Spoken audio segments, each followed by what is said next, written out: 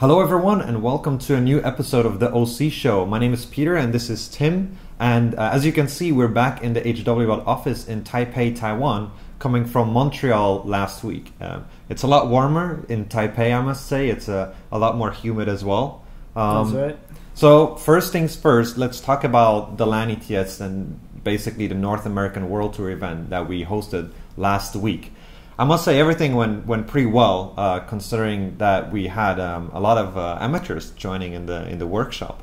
Yeah, I thought you were about to say a lot of sleep deprivation, but yeah, a lot of amateurs as well, indeed. Like um, at some point, it was even so busy that we had a queue of people waiting to get into the workshop. So quite a lot of people were interested to um, first learn about overclocking if they didn't know. And there was a few guys that already knew about it that had seen Truthman in the previous years uh, at the LAN ETS doing demonstrations. So they were very eager to actually be able to try it out. it was uh, it was pretty interesting. One of the um, uh, one of the participants who actually made it to the final, and I think he finished second. Hmm. He explained that he knew what overclocking was, and he did have an overclockable system, but he never really dared to try it out. So this workshop gave him um, an opportunity to test what overclocking is about and see that it's actually not as dangerous as he would think it is. Yeah. You know, we used XTU to give them a very basic introduction to how overclocking works. So he explained how how the frequency was kind of calculate it and then mm-hmm. how you can use the benchmark to determine your performance and what you, ha- what you have to look at when you're overclocking and then we gave the guys about 30 minutes to set their best score, and then the best people could attend in the final. Yeah. So in the end, uh, everyone pretty much maxed out at their at their own level the the competition system they had. Uh, basically, just playing with multiplier and with uh, base clock a little bit, a bit of voltage in there, and that's about it, right? No no memory, anything yeah. complicated. So. so we used the the Pentium K CPU is a G3258. Correct. And um, the systems were provided by Microbytes. I do have to mention this. Microbytes was a fantastic partner in this event, not only giving the systems to overclock, but also some pretty awesome prizes. So yeah. the, the guy, the guys who won the competition, they went home with pretty much the same system that they were using at the event. Yeah. And we used a, um, a, regular air cooling, and some of the CPUs could actually go to 4.5, 4.6 gigahertz through XTU which is quite amazing, I must say. Yeah, no problem at all. Actually, all of them were skating that high yep. just from the start. So this was our first World Tour event, and um, we learned a lot of uh, things from both the amateur workshop and the extreme workshop uh, the lessons that we learned we'll take to our next event, which is in a couple of weeks only at Gamers Assembly in France. And I believe you have some updates on the yeah. World Tour event. So the the French event is going to be about three times the size, at least, of the one in uh, Montreal. So a lot more attendees, a lot more LN2, and a lot more amateurs around there to um, to eventually learn about overclocking. So there will be a, pretty much the same program gathering for the guys that already know about LN2 uh, there will be some, of course, some some uh, how you call it, uh, like security workshop taught by our dear friend Truthman. So, All right, we have the LN2 certification. yeah, that's it. And uh, then we'll have um, the same workshop concept for amateurs at Gamer at Gamers Assembly. There's 2,000 gamers, so that's about the double amount of people there's uh, at the LAN ETS. There's also a lot more visitors. There's I think 11,000 visitors mm-hmm. going to the Gamers Assembly every year. So it's going to be quite a quite a packed schedule. So for people that are interested to go and participate in the workshop, it's probably a good idea uh, to come very early on the first morning and uh, subscribe for a workshop slot like this. You you don't miss out and you have enough time to uh, attend the workshop and be able to practice a little bit and then qualify for the competition. So it's gonna be yeah pretty interesting and I'm pretty sure the, the, the visibility is going to be a lot better than we had at LAN ETS as well. So. Yes I'm I'm expecting it's going to be uh, hellish to get everyone to do the workshop and then participate in the in the competition, but it's going to be um, a lot of fun again. Yeah, especially because we are on the land floor, right uh, among the gamers.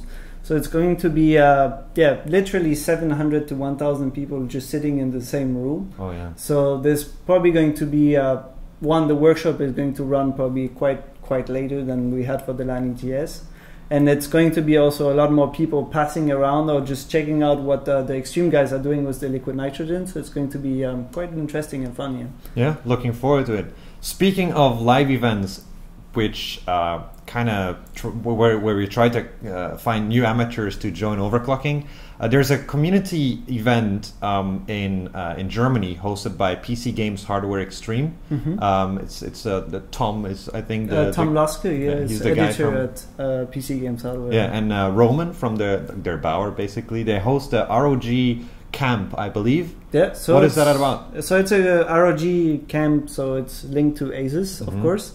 And uh, so it's this. The concept here is to um, teach people about uh, LN2 overclocking. So it's open for people that are already uh, aware of overclocking, that already do overclocking at home as a as a either air cooling or water cooling, but that have never tried LN2 at home before, and uh, that are willing to um, to qualify first on air and water cooling, and then attend uh, first uh, first day where they have a like a teaching of how to insulate, how to how does it work, how to prepare for LN2 session, and then on the second day they are by themselves benching on the LN2 for a competition. So it's going to be quite interesting, and the qualifiers are running right now in OC Sports. Yeah, so there was already um, over 15 people trying yeah, to qualify. I, think I saw 17 this morning. Okay, so- 17 already. That is, um, I must say, a very interesting strategy of PC Games Hardware to kind of recruit new overclockers to join their team. Well, it's very clever because you know Mm. you get usually the most points from the guys that do LN2. So Mhm. if you want to get more points for your team, it's actually very, very intelligent to just Yeah. Recruit or train LN2 guys. I think we're going to be there as well. It's the it's actually the weekend after the Gamers Assembly, so we'll be flying to to France, then travel through Belgium to get to Germany, then back to Belgium, and then fly back to Taipei. Mm-hmm. So it's going to be quite a, quite a trip again once once more, but it's all it's all in good fun, right?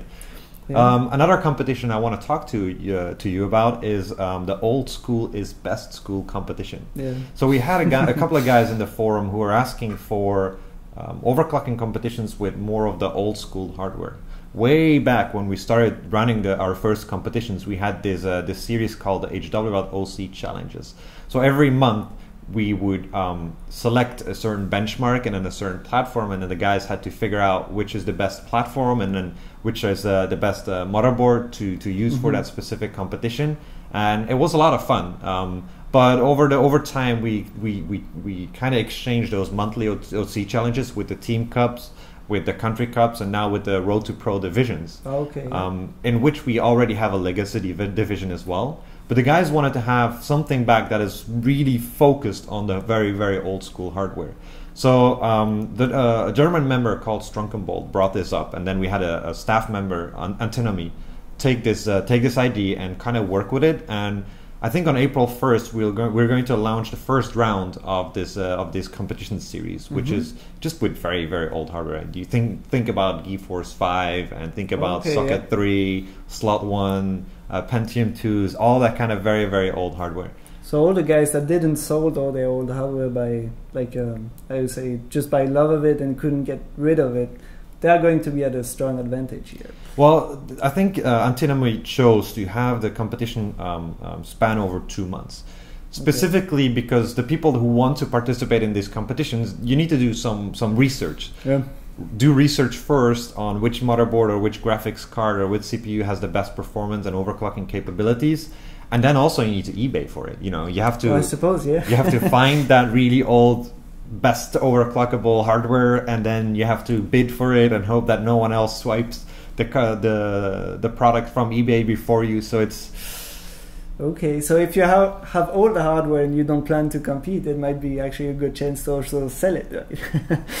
we've we've had that comment from other people before that anytime we run a competition on older hardware the prices for this hardware spike on eBay which is which is pretty funny well, especially if you want to plan to bin CPUs, for instance, or are looking for a very specific motherboard, or because back then there was like several SKUs that were pretty good for clocking. So Oh yeah, like the the old graphics cards would have you'd find graphics card with different memory chips in um, in uh, the the NS speed, which is the nanoseconds of the of the, the the latency of the memory chips. So the lower the better. So you have to find those specific graphics cards that were actually built to be overclocked very very high. all right, so that's a community initiative and starting on April first. Yeah. No April Fool's joke. No. Hopefully. No. you better not. All right. So another thing that is uh, happening within the community is the translation of HWBot, and here Yeah. it has been quite active. I think we started a translation program about six months ago now, something Mhm. like that, and uh, we have over 15 languages in the works, uh, among which uh, French and German, which are now in the final testing phase. I Yeah. say. I think Indonesian, Spanish are also evolved quite far. Dutch actually Yeah. as U- well. Ukrainian is going very fast lately. Oh yeah, as well, true. so- But then French and German are already already loaded up on our UAT test site, Mhm. and from the looks of it, everything seems uh, seems pretty solid. So we'll be pushing those to our production server very very soon. So and then you'll be able to enjoy HWBot in French and German. So if you can't speak English very well, learn a new language, Yeah. preferably French or, or German.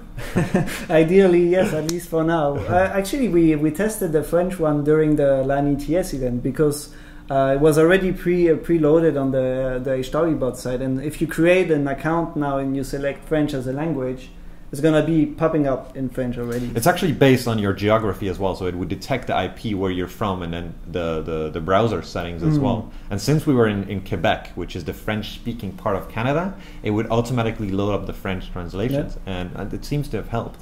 Yeah, also, no. actually, Chinese, simplified Chinese Oh, is ready as yep, well. Yep, yep. A lot of languages, I suppose. Awesome. A lot more people can participate. Yeah. All right, this was it for the OC show. See you back next week, and um, oh, don't forget to check in on the Q and A. Yeah, so next Q&A is going to be as usual on uh, Sunday 9 p.m. Eastern Time uh, in the US, which is going to be 3 in the morning uh, Europe time. And uh, since we changed, well, they changed time, we didn't change time. So it's going to be 9 a.m. for the people here in the Taiwan um, time zone, so Hong Kong as well. And I think I'll make it. yeah, so yeah, tune in on the Twitch OCTV channel. All right, Of course. Bye. Bye.